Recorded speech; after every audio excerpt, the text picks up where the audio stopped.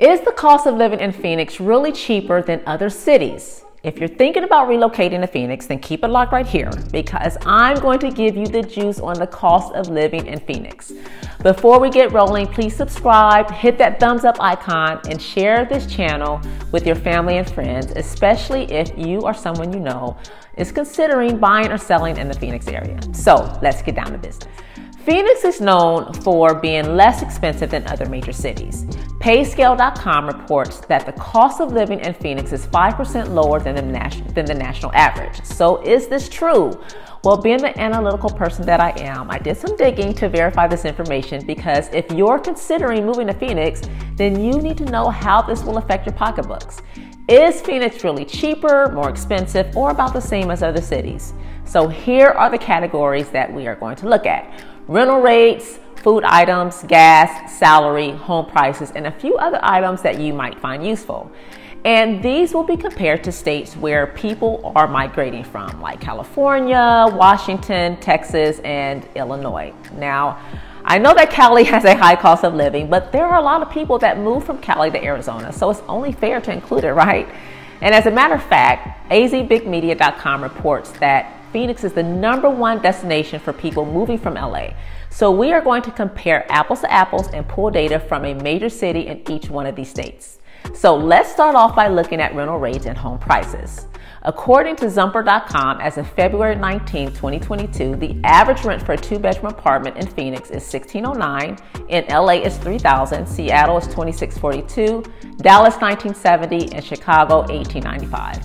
Now keep in mind there are a lot of variables to consider like square footage, neighborhood, and lease terms. So now let's take a look at home prices. According to Realtor.com, as of January 1st of this year, the median sold home price in Phoenix is 423,300. LA is 912,800. Seattle is 720K, Dallas is 443,795, and the median sold home price in Chicago is 350K. Again, this varies on neighborhood, square footage, and demand. So while we're at it, let's compare property taxes. The average property tax in Phoenix is $678 per 100,000 of home value, which is 0.678%. LA is 0.725%, which is the average. Seattle is 0.93%, Dallas is 1.93%, and Chicago is about 2.10%, one of the highest in the country. Now, here is a comparison chart of items like gas and common food products. So let's take a look.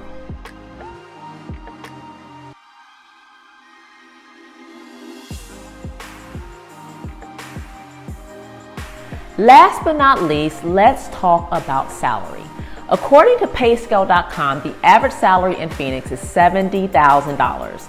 Some of the most popular jobs in Arizona are engineers, air conditioning techs, which really makes sense due to our desert heat, medical professionals, construction workers, and hospitality workers. The Arizona Office of Economic Opportunity, or the OEO, reported that Arizona's employment is expected to increase 2.2% by 2030, with the largest job gains in the education and health services and professional and business services sector. Now, comparing the salary to other cities, the average salary in LA is 79,000, Seattle is 83,000, Dallas is 74,000, and Chicago is 73,000. So is Phoenix really cheaper, more expensive, or about the same as other cities? Now, based on my research, it is less expensive in Phoenix. And honestly, I chose only five cities out of the many cities in the US. So I would really have to increase my sample size to get a more accurate measure. But based on what I found and what I've experienced, Phoenix is winning the cost of living battle right now. So here's a quick rundown. Compared to Chicago, the cost of living is about 23% lower in Phoenix. It's 7% lower than Dallas, 36% lower than Seattle, and 34% lower than LA.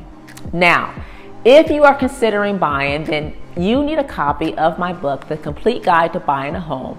Please see the link below to get the details. I'm Renee the Realtor. As always, thank you so much for watching, and we'll see you next time.